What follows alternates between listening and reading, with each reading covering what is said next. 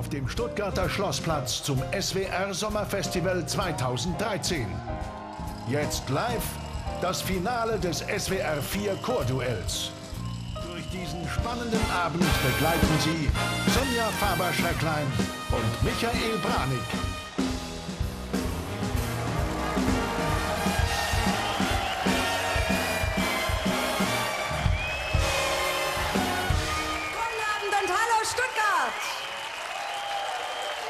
Schön, dass Sie gekommen sind zum großen Finale nach Stuttgart unseres Chorduells.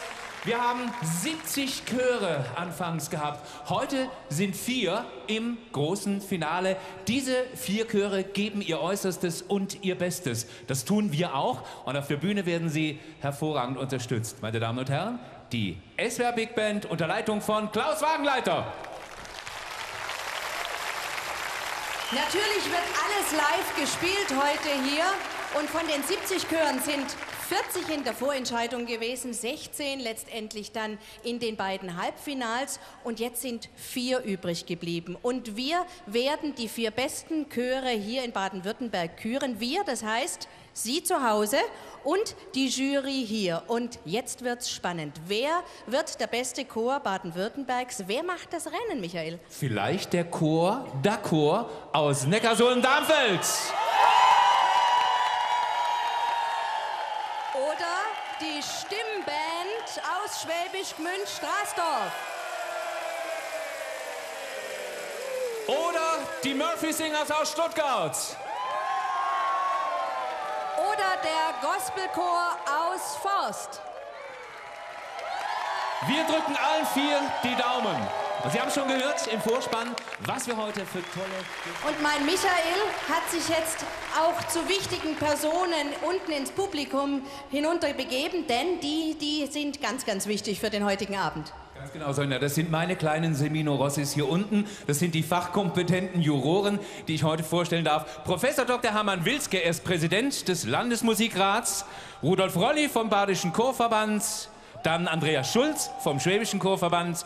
Michael Wünsch, Frank Rotfuß, Michael Lenge und Klaus-Peter Meyer als Vertreter unserer Partnerzeitungen, die da sind. Die Badischen Neuesten Nachrichten, die Fränkischen Nachrichten, die Rhein-Neckar-Zeitung, Schwarzwälder Bote, Stuttgarter Nachrichten, Südkurier und Südwestpresse. Und einen Kollegen habe ich vergessen. Das ist mein Kollege Eddie Graf. Den begrüße ich jetzt ganz besonders herzlich bei mir. Mit ihm wollen wir mal so ganz kurz klären. Eddie, wie haben es die Chöre geschafft, in dieses begehrte Finale zu kommen? Ja, Michael, die mussten einige Hürden überwinden. Wir hatten zunächst mal regionale Vorentscheide mit 40 Chören. Dabei sind jeweils die ersten beiden weitergekommen in die Halbfinals, also 16 Chöre in zwei Halbfinals. Davon sind die vier besten jetzt heute hier beim Finale und darauf freuen wir uns sehr. Auf was achtet ihr, Eddie und seine hochkarätigen Kollegen? Was gilt's zu bewerten, zu beurteilen? Ich würde es einfach mal mit Klangkultur umschreiben. Also wir achten darauf, wie die Stimmen zueinander stehen, wie gut artikuliert wird, wie gut man das versteht, was gesungen wird. Und natürlich der Gesamteindruck eines solchen Chores in diesem Ambiente vor einem solchen Publikum, den wollen wir auch nicht außer Acht lassen. Ganz wichtig ist ja auch zu sagen, dass wir nicht nur die Fachjury haben, die fachkompetenten Herren hier in der Jury, sondern die Zuschauer spielen auch eine wichtige Rolle. Ja, es gibt ein Televoting. Das heißt, wenn Sie zu Hause heute Abend uns zuschauen, dann werden Sie später eine Telefonnummer bekommen und dann können Sie als Jury Ihre Stimme auch abgeben. Dann wünschen wir der Jury eine gute Wahl, ein herzliches Willkommen bei uns. Einen Applaus kriegen Sie natürlich. Darf ich Ihnen einen Musicalstar vorstellen? Einen Musicalstar, der Pate oder Patin für unseren letzten Chor ist, den wir dann noch kennenlernen. Begrüßen Sie herzlich aus Stuttgart vom Musical Sister Act Sotva Selele.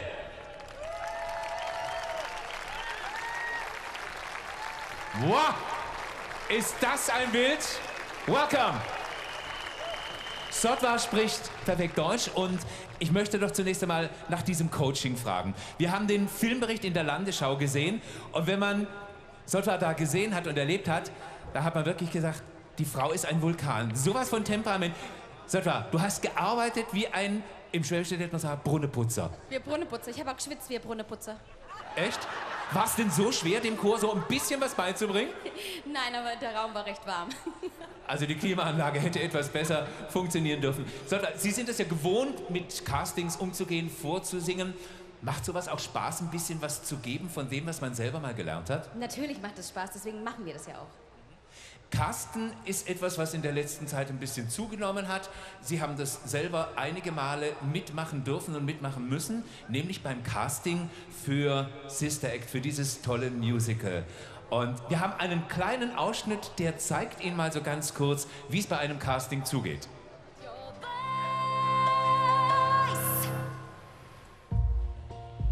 The premiere in Hamburg is going to be played by, by Zoe. Yeah. I'm part of one terrific sister Völlig fertig, die Frau weint. Die Frau, die wir da gerade gesehen haben, das war keine Kopie, das war die echte Whoopi Goldberg. War die dabei? Ja, es war die echte Whoopi Goldberg. Was ist das für ein Gefühl, wenn man mit einem Weltstar zusammenarbeitet und die Wahl, das Herz dieses Weltstars auf einen fällt? Oh, es ist unbeschreiblich, wenn man bedenkt, dass sie kein Deutsch spricht und für diese Audition, so nennen wir das, ähm, alle Texte verstanden hat und gelacht hat und geweint hat mit mir, finde ich das einfach fantastisch. Es ist ein Ritterschlag, würde ich sagen. Ich meine, sie ist ja auch wirklich ein Goldstück, nicht nur weil sie heute so ein tolles Kleid anhat, sondern weil sie den Norden begeistert und auch den Süden. Gibt es eigentlich so einen Unterschied, ein Nord-Süd-Gefälle beim Publikum, bei einem Musical? Es, es gibt wirklich einen Unterschied, ähm, den ich nicht so explizit herausheben möchte, aber Stuttgart ist sehr, sehr warmherzig und die Stuttgarter gehen von Anfang an sofort mit. Das ist in Hamburg auch so, aber es ist einfach anders. Sie sind ein bisschen cooler, bisschen kühler. Naja gut, ich bin eigentlich auch aus dem Süden und deswegen vielleicht ist da eine Verbundenheit. Ein genau, das ist so der Lokalpatriotismus. Vielen Dank. Ich finde, Wuri Goldberg hatte recht. Die Frau ist ein Goldstück. Sotwa Selele!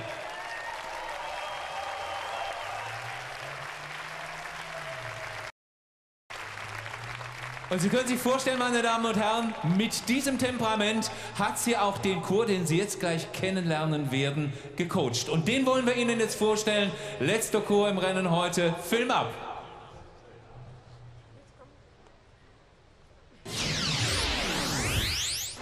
Auch Platz 1. Riesige Freude in Horb und ein verdienter Sieg. Chorleiter Heinrich weiß warum. Aber als, uns als Team zusammengeschweißt und habe wirklich Spaß dran gehabt. Zu Hause sind die 35 Stimmen im Badischen und zwar in Forst bei Karlsruhe. Forst ist eine kleine Gemeinde, aber sehr schön da zu wohnen. Ihr Name ist Programm, doch das Herz schlägt fürs Musical. Als erstes war Her, zweites Sister Act, dann hatten wir Jesus Christ und unser letztes war Mama Lou und das fünfte ist in Vorbereitung. Ach, es gibt wie immer zu wenig Männer. Deswegen haben wir auch eine Männerbeauftragte im Chor, die sich um unser Wohlbefinden kümmert. So, und was macht die genau? Da muss man sich halt ein bisschen um sie kümmern, dass sie nicht untergehen, dass sie Beachtung finden. Das ist toll, dann kann ja nichts mehr schiefgehen. Gemeinsam haben sie es geschafft. Viel Glück. Aber sicher.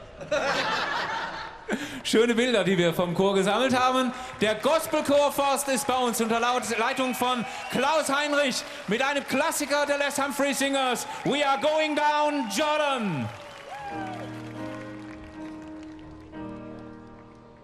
We gonna walk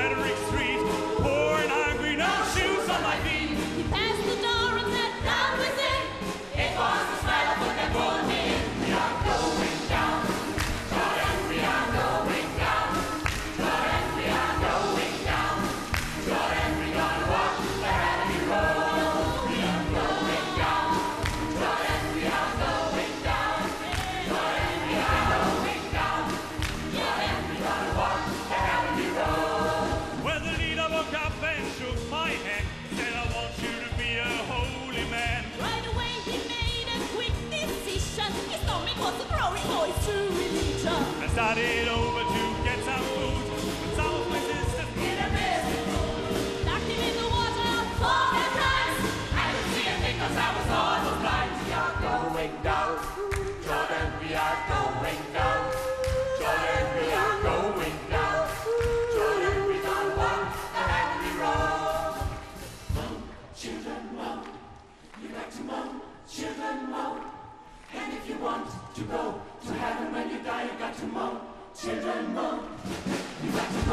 Shimmer,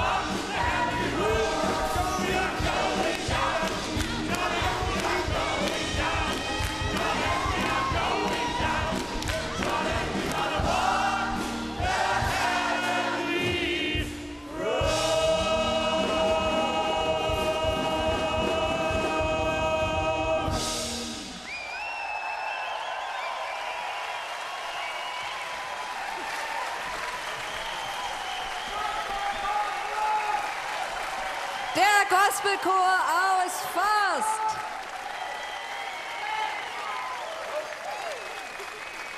Der Gospelchor aus Forst unter der Leitung von Klaus Heinrich. Ja, verehrte Gäste hier auf dem Stuttgarter Schlossplatz, werte Zuschauer zu Hause an den Bildschirmen, Sie haben jetzt alle unsere vier Chöre gesehen. Und Sie haben auch alle unsere Paten singen gehört. Die Jury zieht sich jetzt zurück zu ihrem Voting. Sie versuchen jetzt rauszukriegen, wer ist der beste Chor hier in Stuttgart heute Abend beim großen Finale.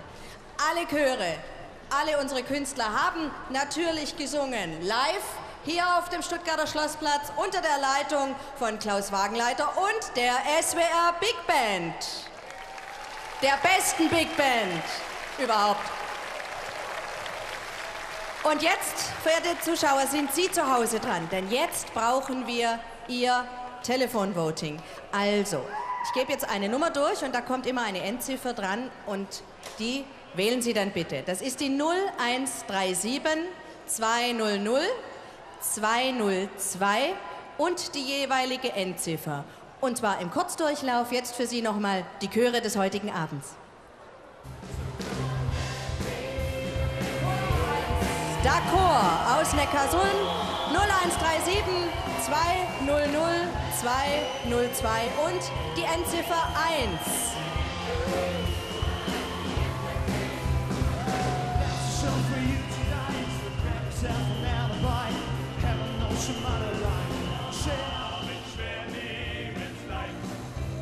Das ist die Stimmband aus Schwäbisch Gmünd, Straßdorf mit der Endziffer 2 0137 200 202 und die 2.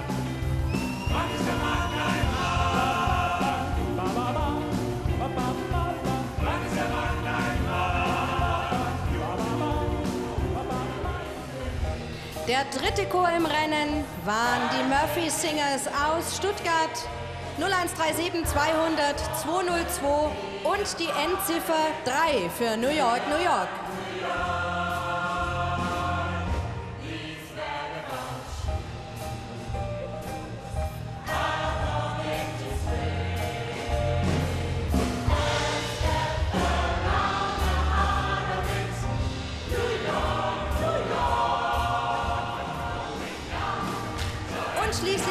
Haben wir sie gehört, der Gospelchor aus Forst, die Endziffer 4. Und vorneweg wählen Sie bitte die 0137 200 202 und die 4 am Ende.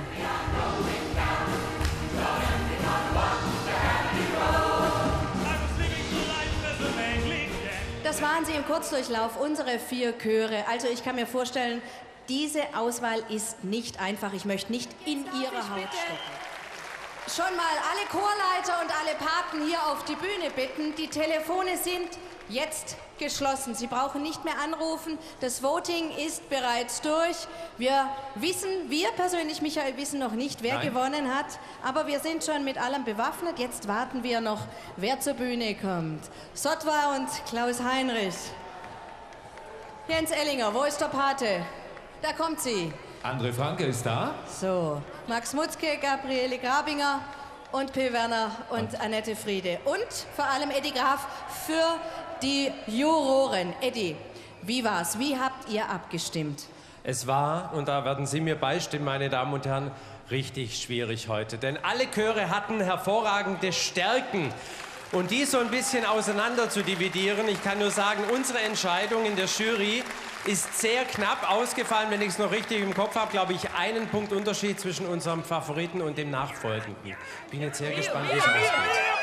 Es fehlt natürlich jetzt noch was ganz Entscheidendes. Dazu kommt Michael gleich. Aber wir können schon mal auf dem Bildschirm, auf der Großleinwand schauen, wie sich die Balken aufbauen.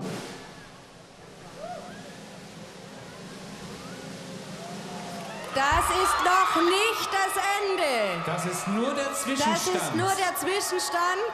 Denn jetzt, Eddie, wollen wir wissen, wie das Zuschauervoting aufgenommen wird in die Wertung. Wie wird es auch verteilt und gewichtet? Genauso wie die Jury mit Punkten von 4, 3, 2 und 1 gewertet wurde, haben wir auch das Zuschauervoting gewertet mit 4, 3, 2 und einem Punkt. Und dieses Voting wird jetzt noch zur Jury dazu addiert. Wir warten auf die Balken und sie bewegen sich. Und hier haben wir jetzt in wenigen Augenblicken unseren Siegerchor. Meine Damen und Herren, Sieger beim Chorduell 2013, Baden-Württembergs bester Chor,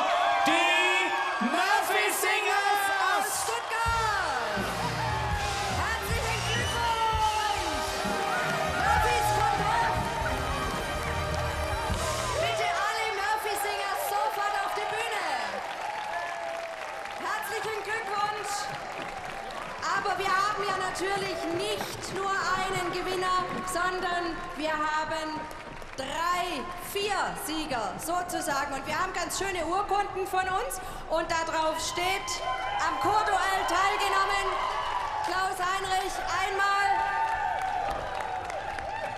Wären Sie losgelassen. Wir müssen das Chaos auf der Bühne jetzt ein kleines bisschen schlichten, denn wir wollen euren Siegertitel natürlich noch einmal hören. Sie sind da einverstanden, ja? Während Sonja versucht, sich einen Weg durch die begeisterten Fans zu bahnen, darf ich an dieser Stelle schon mal sagen, wir wissen, Hier habe ich noch eine Urkunde. Nebenher. wer hat noch keine? Jens Ellinger kriegt noch eine und seine Patin erfolgreich teilgenommen. So, jetzt bin ich wieder bei dir. Ihr müsst auf die Bühne zum Aufwärmen, ihr müsst gleich singen, Ihr sonst mache ich das. Ihr müsst auf ja, die Bühne. auf die Bühne, hopp, hopp, hopp, ab. Schnell, schnell feiern dürft ihr nachher. Sonst müssen wir das singen, Sonja. Oh, schreck. Also doch schrecklich und Panik. So ist es. Das war das Chorduell 2013. Baden-Württembergs bester Chor ist gefunden. Es sind die Murphy Singers aus Stuttgart. Es war ein spannendes Rennen, nicht nur heute, sondern auch im Vorfeld. Allen, die dabei waren und die mitgewirkt haben, ein herzliches Dankeschön. Dankeschön dir, Sonja, für die Danke tolle dir. Assistenz. Und schön, dass Sie mitgemacht haben, mit dabei waren, zu Hause mit telefoniert, gewotet haben. Wir sehen uns hoffentlich im nächsten Jahr wieder beim Chorduell. Und jetzt noch einen schönen Abend und vor allem tolle Musik mit den Murphy Singers aus Stuttgart. Baden-Württembergs bester Chor.